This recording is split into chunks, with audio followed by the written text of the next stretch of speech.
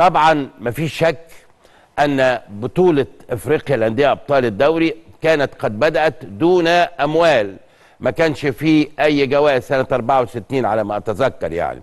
كانش فيه أي أموال وكانت الأندية بتئن من المصاريف بتاعت إفريقيا. سفر وذهاب وعودة والحكاية والرواية. وفي النهاية مفيش وبالتالي من 97 بدأت رحلة المليون.